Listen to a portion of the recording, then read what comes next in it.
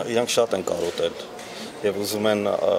տեսնեն իրար եւ կարոտները առնեն եւ քննարկեն այն հարցերը, որոնք ըստ էության վաղուց արդեն փակուղու մեջ են։ Եվ ավելին պիտի ասեմ, որ Ադրբեջանը ավելի ավելի է կոշտացնում իր դիրքորոշումները եւ ըստ իս Ադրբեջանի մարտավարությունը կամ նույնիսկ ռազմավարությունը այն է, որ Հայաստանին կապիտուլյացիայի ենթարկի եւ բերի այն կետին հասցնի, որ Հայաստանը ստիփաց լինի առանց որևէ բան ստանալու գնա զիջումների, այսինքն անել զիջումներ դրա դիմաց ոչինչ չստանալու։ Ադրբեջանը դա անելու է, շարունակելու է անել, ստանալով զենք տարբեր երկրներից, այդ թվում նաեւ մեր ռազմավարական գործընկերոջից, ով շարունակում է զինել Ադրբեջանին եւ այն պնդումները, որ պահպանվում է ռազմական հավասարակշռությունը սինեն, որովհետև հնարավոր չէ համատել մոտավորապես 5-6 միլիարդի հասնող գործարքները եւ շարունակվող այդ գործարքները, որոնք որ մինչև այս տարվա վերջը վստահ եմ նաեւ մյուս տարի կշարունակվեն համատել այն զենքի զինամթերքի հետ, որը Հայաստանը ստանում է Ռուսաստանից։ Ռուսաստանը շարունակում է պահպանել այստեղ իր լարվածության դծակները, եւ Լեռնային Ղարաբաղի հակամարտության կարգավորման մեջ թերևս ամենաչշահագրգռված կարգավորման մեջ շահագրգռվածներից մեկը հենց Ռուսաստանն է։ Ինչի են հանդիպում Ադրբեջանի եւ Հայաստանի նախագահները թերևս որպիսի պահպանեն այդ բանակցային գործընթացը միգուցե հենց նրա համար որպիսի բախումները չլինեն բայց սա այսինքն այն մինիմալ բանն է որ հնարավոր է անել այս պարագայում այս ստեղծված իրավիճակում արդյունքում մենք ես նորից եւի կրկնվում եմ արդյունքում այս ստատուս քվոյի մահանում են մարդիկ զինվորները սահմանին եւ որևէ հերանեկար չկա թե ինչպես կլուծվի այս խնդիրը մոտապագես մտավախություն ունեմ որ եթե 10-15 տարի առաջ դեռևս կար այդ հույսը որ կլինի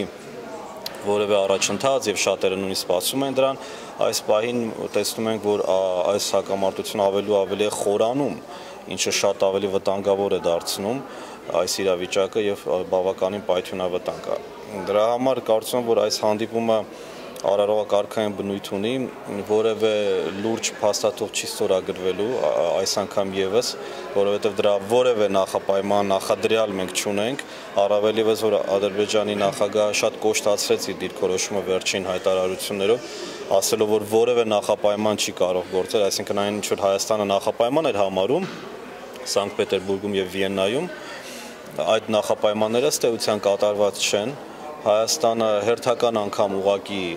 ասում է բաներ, որոնք ուղակի անտեսվում են եւ ինքը ճունի մեխանիզմներ լծակներ պարտադրելու այդ պահանջները, պայմանները, որից հետո նոր կարողանա սկսել։ Սա ինձ համար իսկապես մտահոգիչ է։ Լծակ չի լինի այն, որ Սերժ Սարգսյանը հրաժարվի հանդիպել Ալիևին, համանախագահներին ասելով, որ պետք է կատարվեն այն պայմանավորվածությունները, որոնք այս կողմերի միջև կայացվել։ Այո, դա կլիներ ճիշտ եւ լավ որոշում, կարծում եմ, որpիսի ցույց տա Հայաստանի դժգոհությունը այս հարցում, բայց այս հարցում այս իրավիճակը, որ մենք ունենք, մեծագույն իր մեղավորությունն նաև հայկական կողմը։ Այնպես չի, որ սա օթից եկած իրավիճակ է, որին պարզապես պետք է հարմարվել կամ չհարմարվել։ Սրան նպաստում է նաև Հայաստանի սխալ քաղաքականությունը արտաքին աշխարհում մենք շատ բազմաթիվ անգամներ խոսում ենք եւ գործընկերների եւ պաշտոնյաների եւ այլոց հետ իհարկե մոտեցումները տարբեր են այնպես չի որ շատերը կիսեն այս մոտեցումը որ Հայաստանը սխալ քաղաքականություն է վարում բայց ես փորձում արդյունքներով դատել մենք կարող ենք իսկապես չհամաձայնել տարբեր հարցերում, բայց այն որ փաստացի խաղաղության գնացող գործընթաց չկա, կան փոքր գրեթե կարելի ասել ինձ մարտավարական նշանակություն ունեցող քայլեր, որոնք ուղղակիորեն նպաստում են ստատուս քվոյի երկարաձգմանը, որը ըստ հայկական կողմի շատ ներկայացուցիչների ձեռնտու է Հայաստանին, բայց ես կարծում եմ եւ միշտ էլ կարծել եմ, որ որևէ անգամ կարճաժամկետ կտրվածքով չի կարող բխել Հայաստանի եւ Լեռնային Ղարաբաղի ժողովրդի շահերից։ Այս երկարաձգումը պետք է դաթարի եւ պետք է հայկական կողմերը երկեր փնտրեն խաղաղության հասնելու համար։ Ես հասկանում եմ, որ դա գրեթե անհնար է այս պարագայում, որտեղ Ադրբեջանը զինվում է, Ադրբեջանը ունի ավելին ստանալու ցանկություն տեսնելով որ կարող է ստանալ ավելին, ինչու պետք է ինքը հանկարծ պատրաստ լինի զիջել ինչ որ բաներ կամ քիչ ստանալով բավարարվել։ Նա այսօր կարծում եմ, որ արդեն կդնի ոչ միայն այդ հարակից շրջանների հարցը, այլև ամբողջովին Լեռնային Ղարաբաղի հարցը, կդնի Ստեփանակերտը վերադարձնելու հարցը, կկոշտացնի իր դիրքորոշումային առումով ընդհանրապես որևէ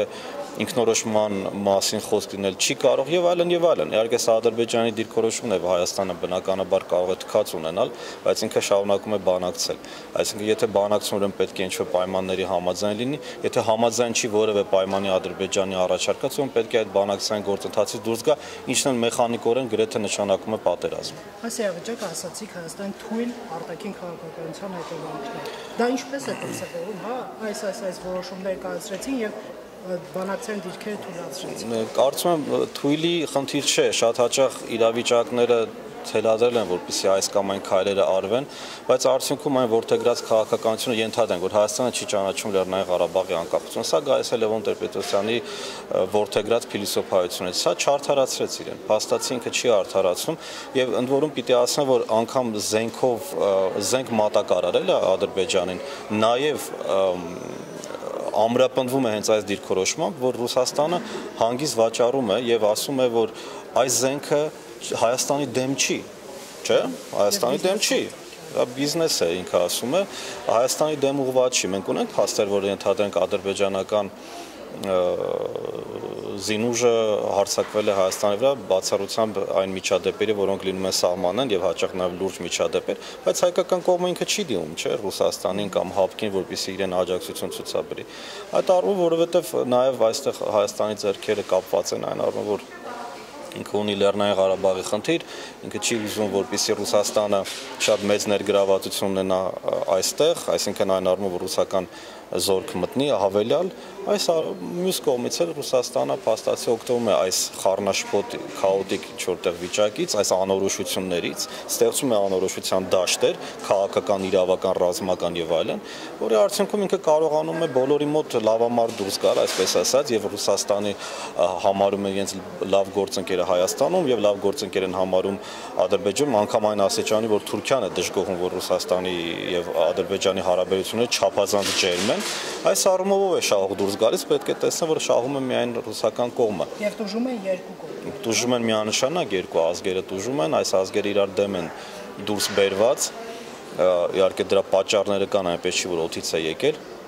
բայց բնականաբար հատկապես Ռուսաստանը մեծապես օգտվեց այդ իրավիճակից 90-ականներում ձևավորված եւ շարունակում է այդ նույն գիծը տանել եւ հայկական կողմը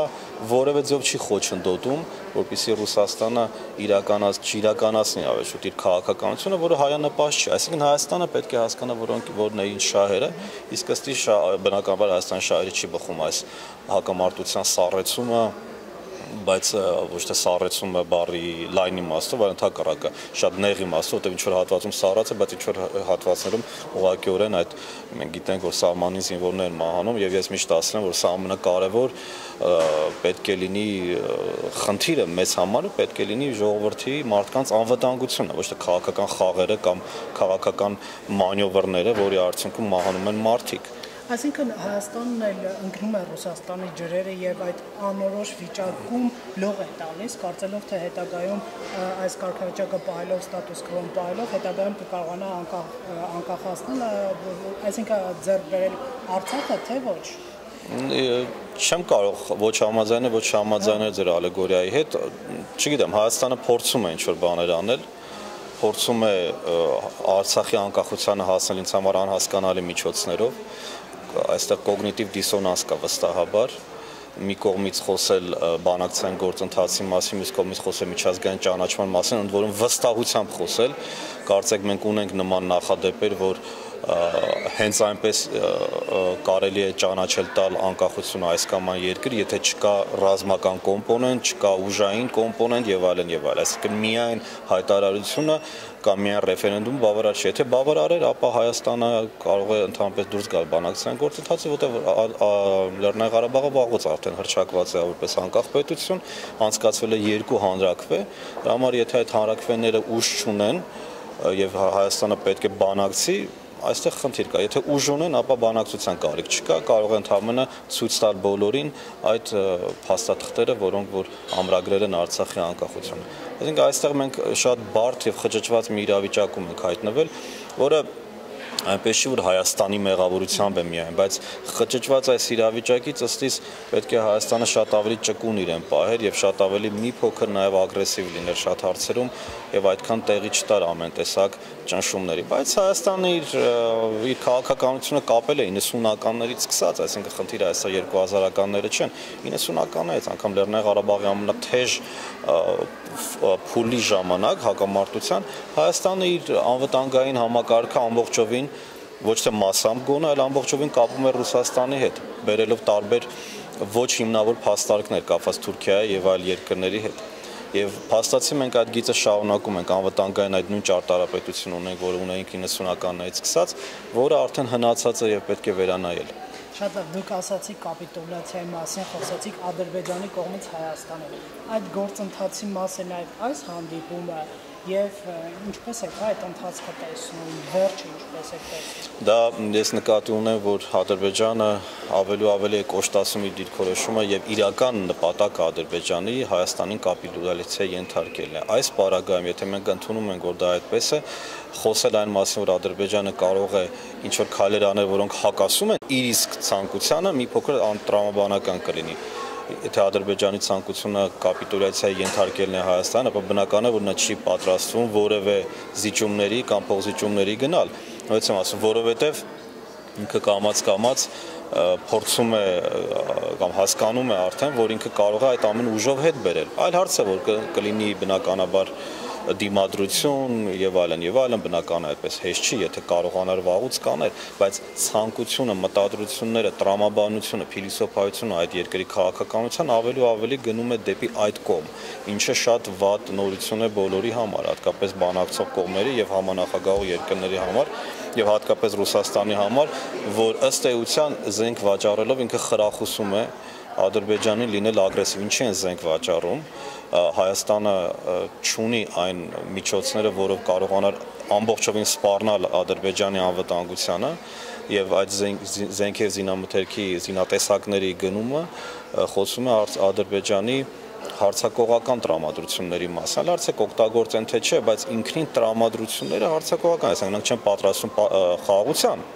խաղաղության պատրաստվող քայլեր չեն դրանք, ճիշտ է համար այստեղ մենք խնդիր ունենք եւ